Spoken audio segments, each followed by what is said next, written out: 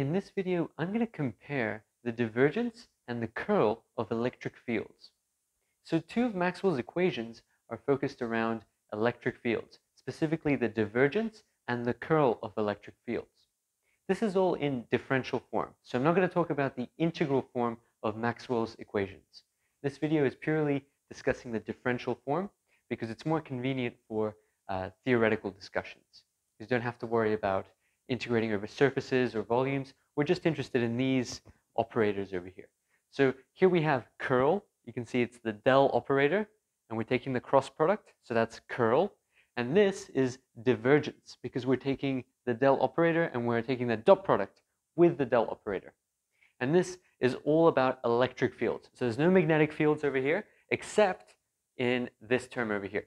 But we're just talking about the curl and the divergence of electric fields. So on the left, we have Gauss's law. This is usually listed as the first of Maxwell's equations.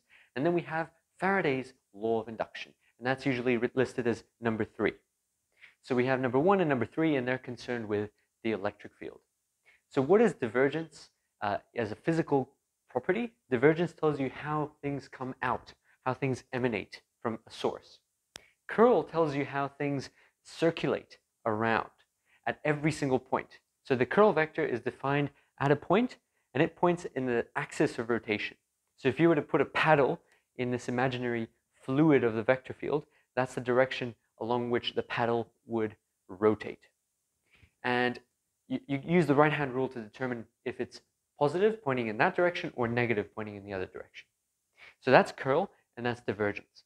Let's have a look at what Gauss's law says about the divergence of the electric field. So what does it say on the right-hand side over here? Well, here we have charge density. And then we have epsilon naught in the denominator, and this is a constant. It's the permittivity of free space.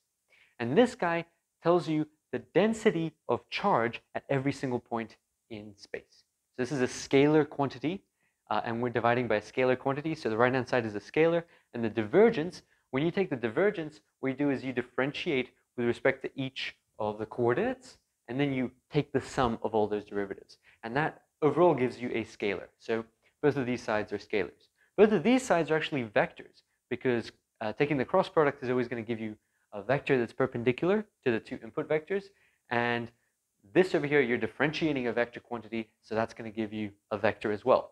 But you're going to have to flip the direction because of this negative sign. And this negative sign is usually called Lenz's law. And Lenz's law tells you the direction of this circulation. So let's compare and contrast uh, some of the aspects between the divergence and the curl. The divergence depends on a scalar quantity, the charge density. So if there's charge there, then you're going to have divergence. If it's a positive charge, it's positive divergence, it's coming out. If it's a negative charge, things are going in towards. So it's the termination point of electric field lines. And if there's no charge at all, if there's no charge density or the charge density is zero, that means rho is equal to zero, well then the divergence is also equal to zero. What about the case for curl? Well, curl for the electric field can only be produced if you have a changing uh, magnetic field. And if you have a changing magnetic field, that is a non-zero time derivative of the magnetic field, then you're going to get some kind of circulation.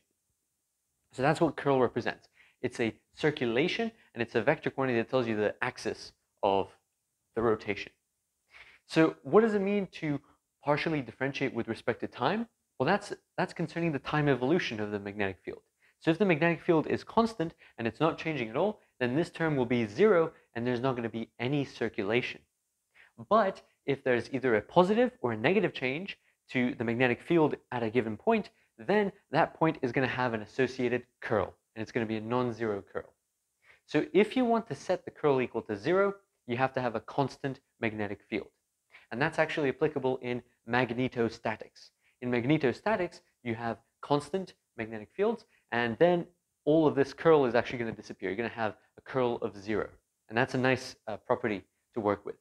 Whereas if, if you want to have a divergence of zero for the electric field, then you cannot have any charges. And that's actually the case in a vacuum or in free space. There's no charges in a vacuum. So those are some of the properties of the curl of the electric field and the divergence of the electric field.